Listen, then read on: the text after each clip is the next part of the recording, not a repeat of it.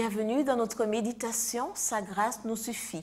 Le titre est Le lion et l'éléphant. Que celui qui se glorifie se glorifie dans le Seigneur. 2 Corinthiens 10, verset 17.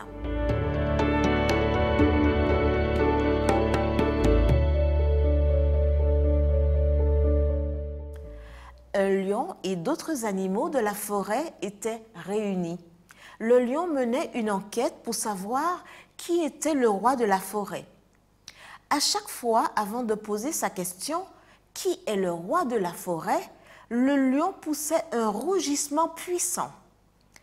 Parmi les sondés, il y avait un singe, un zèbre, une tortue et un éléphant. Terrorisés, les animaux répondirent un par un, sans hésitation. Le lion est le roi de la forêt, jusqu'à ce que vienne le tour de l'éléphant. Avec sa trompe, le pachyderme attrapa le lion par la queue, le fit tournoyer plusieurs fois avant de l'envoyer dans une flaque de boue. Blessé, humilié et couvert de boue, le lion se releva et très dignement il reprit. Le fait que tu ignores la bonne réponse ne justifie pas tant de colère.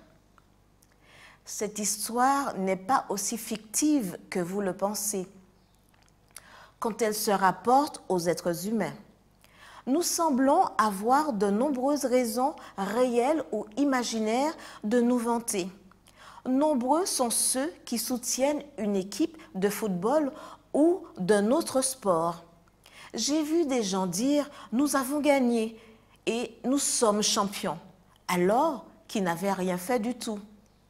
Si nous n'avons pas lieu de nous vanter, Paul présente toutefois une chose dont nous pouvons nous glorifier, Dieu.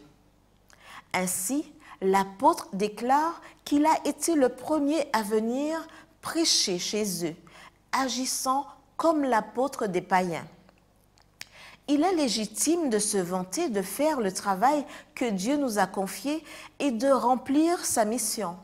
Mais il ne s'agit pas de nous vanter de nous-mêmes mais de Dieu et de son amour qui change la vie. Servons fidèlement notre Seigneur. Obéissons loyalement à notre roi.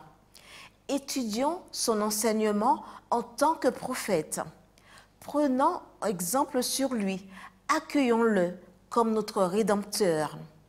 Mais surtout, apprécions son sacrifice pour nous à sa juste valeur et reposons-nous complètement dans sa mort en tant qu'expiation du péché. De tout ce qui concerne le Christ, la croix est la chose dont nous devons nous glorifier le plus. Voir Galates 6, verset 14.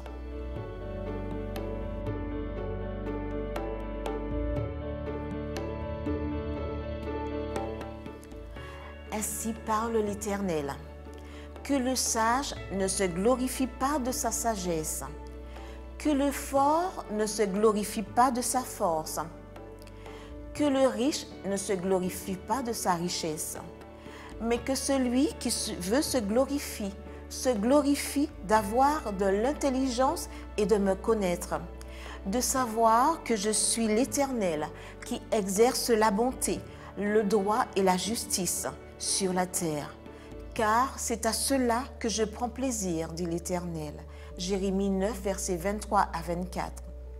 Chaque fois que vous pensez être un lion, souvenez-vous de l'éléphant. Amen.